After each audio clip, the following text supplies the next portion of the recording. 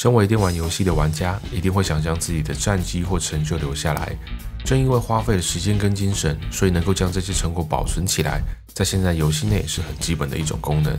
而随着技术不断发展进步，现在大多游戏几乎都能将游玩的记录存在云端、电脑或者是游戏主机内。不知道各位有没有想过，在以前那个没有网络、没有电脑游戏、只有家用型主机的年代，这些玩家努力挑战过的痕迹，或者是自己练功打宝的记录是如何保存下来的呢？这集我们不谈游戏，来跟大家简单聊一下以前的游戏到底如何存档。红白机于一九八三年发售，而在台湾正式发售的日期是一九八七年，直到二零零三年任天堂宣布停产为止。这期间发售了超过一千款的游戏，太多的经典作品多到举例不完。不管是热门的还是冷门的作品，相信都是许多老玩家们的回忆。但任量在开发初期并没有将资料备份，也就是存档的概念考虑进去。加上初期所发售的游戏大部分都是动作、益智、运动类型的游戏，这些作品大多都是希望玩家不断的挑战过关，或者是跟朋友一同互动为主。甚至也是有些没有全破概念的循环关卡，这些游戏基本上整个游戏的流程都不算太长。如果失败了，不是全部重新再来一次，就是接管刚才的关卡起点再次挑战。那游戏流程比较长，没有办法短时间就过关的游戏该怎么办呢？这个问题在工程师设计下获得了一个方式，那就是用密码，也就是早期一些 RPG 或流程较长的游戏开头。通常第二个选项就是进入选择打密码的画面，只要在先前游戏中取得的密码正确输入，就能回到上次游玩的进度来继续挑战冒险。而游戏中提供的密码其实就是对应玩家当前的数据，譬如玩家玩到第几关，取得了哪些物品。单纯一点的密码可能用数字就足够记录，随着游戏的内容增加，需要记录的东西越多，密码也就会跟着越来越长又复杂。例如这款无赖战士所使用到的密码总共是 A 到 P 共十六个，组合是四位数。这边我们用密码 G A M E 输入后，直接就来到了第七关。接着是著名的忍者龙剑传系列，第三代黄泉的方舟密码则是用图案替代。这边我们用药瓶忍术人数飞镖的组合，直接就从第七关开始。这边补充一下，可能会有玩家问，为什么他玩了三代没有可以输入密码的画面？这部分就是日版跟美版的差异了。美版的《忍者龙剑传》三代是没办法输入密码的。早期许多游戏，两国因为卡夹内部晶片政策的影响，导致许多作品的标题或者系统会有不同。熟悉的老玩家们应该都会知道。我们简单比较几样就可以看出差异。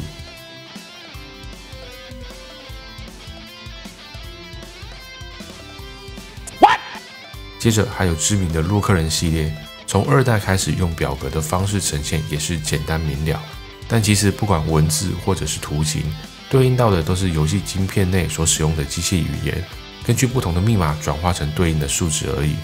所以当如果是要储存的东西比较多，对应的密码长度就会很可观。比如《勇者斗恶龙》一代要记录的密码有二十个字，以及我童年的回忆《Zoidos 中央大陆之战》则要记录二十五个日文字。最狠的就是《勇者斗恶龙》二代。这款的密码组合长度长到被官方称为“复活咒文”，最大需要记录的密码长度来到了五十二个日文字，是不是很夸张？更不用说日文字还区分轻音、浊音、半浊音，要注意看字有没有两个点还是一个圈，只要没看仔细，中间一个字抄错，基本上就会前功尽弃，整个直接凉掉给他去了。这边简单举例一下我们密码记录的概念，平时我们习惯用的是十进位，逢十就进位。而红白机的游戏基本上是由零跟一组成，也就是二进制。这边我们可以参考这张表，这里每个日文字都代表对应的数值。当玩家输入之后，会写入晶片并检查，只要正确符合编码逻辑，就会继续上次的进度。正因为会进行正确性的校验，所以只要一个字输入错误，就会导致失败。更白话一点，就是把一堆文字密码透过杂七杂八的公式计算之后，再转成游戏的资料。能想象你花了一堆时间去练等级、收集道具，好不容易把地图推进到一定程度，最后还用心练习了日文写作。可怕的是，错了你还可能不知道哪里有错，够崩溃了吧？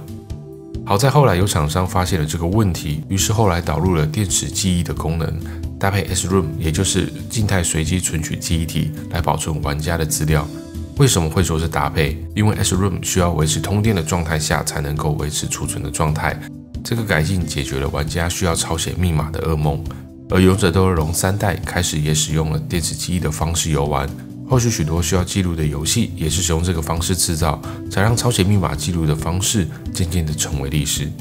不过刚才既然提到电池，但也不可避免的会有电池电力用完的一天。当时所制造的电池记忆卡夹搭配使用的都是水银电池，就是这种圆形扁扁的电池。不论是大型的卡夹还是 Game Boy 小卡，都是使用这种电池的大小跟型号不同而已。这种电池的寿命看使用状况，平均大概落在五到七年，所以也是有玩家碰到因为电池没电导致游戏的心血消失的惨案。而透过电池存档的方式，一直到大概两千年后，随着快闪记忆体的普及跟降价后，才逐渐被取代。当然，可能还有人疑惑，这期间还有其他存档的方式吗？当然是有的，例如一九九一年推出的七龙珠 Z2 这款卡夹，使用了电子魔术式可复写唯读记忆体。这种记录方式，即使没有依靠电力，资料也不会遗失。不过，由于当时的造价昂贵，所以并没有很多游戏使用这种记录方式。另外，就是任天堂在一九八六年所推出的任天堂磁碟机，简称 FDS，搭配可以使用重复读写的三点五寸磁片与 ROM 转接器来进行游戏资料的存档。大名鼎鼎的经典系列作品《萨尔达传说》的第一代也是在此发售。但是随着后续更大容量的卡夹研发成功，以及次世代主机的推出，FDS 的时代也跟着宣告结束了。而随着科技跟技术不断跳跃式的进步，透过电脑、手机、主机或模拟器就能玩的游戏的我们，似乎比较在意何时能够存档，而不是在意如何能够存档了。希望看完这部影片的你，能够稍微认识一下以前的游戏有过这么一段心酸的历史。你能想象，要是 RPG 游戏不能存档，那会是多么令人崩溃的一件事情？等于可能玩了一个礼拜的进度，只要一次失败就会前功尽弃。我自己光想应该就不会想碰了。还好现在存档功能经过技术不断的改良，已经会随着剧情的推进，以自动记录或是开启选单储存的方式来确保玩家当前的进度。应该很难想象三四十年前，玩家是必须要用手抄或拍照的方式将密码记录下来，才能够确保自己的游戏资料。这个虽然麻烦，但有效的存档方式，可是许多老玩家们的重要回忆。大家如果对于更详细的密码是如何转译，就直接用关键字去搜寻一下啦。我不是专业的科技人，就大概重点的介绍一下。那么今天的影片就到这边，喜欢我们的影片，别忘记按赞、订阅以及分享。这里是游戏创刊号，我是透露，谢谢你们的收看，我们下部影片见，See you next time。